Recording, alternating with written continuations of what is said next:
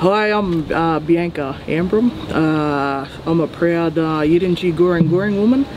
Uh, I've been working here at HealthShare Parramatta um, for probably seven years now.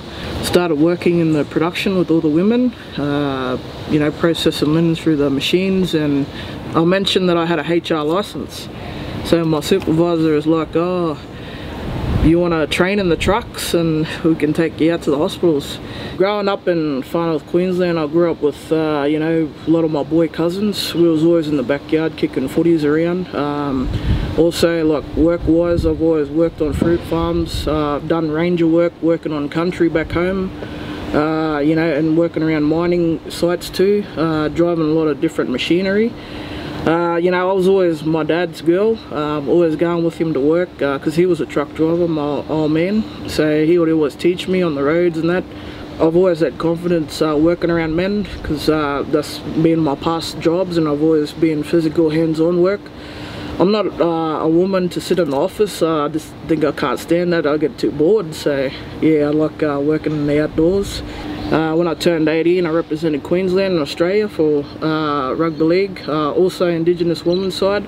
That's something that uh, I've been keeping quiet from HealthShare Parramatta that they don't know.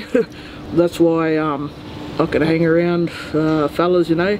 Uh, us women are more patient, especially with trucks and, you know, doing men's job, we can do it too, so, you know.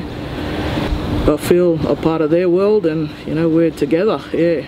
Uh, they're like my family. They're amazing, so supportive. Um, Lana and all her crew. You know, I'm happy to go to the workshops every year with them and uh, you know, do all the courses and that because uh, you know, you get excited when you see your own mob. So yeah.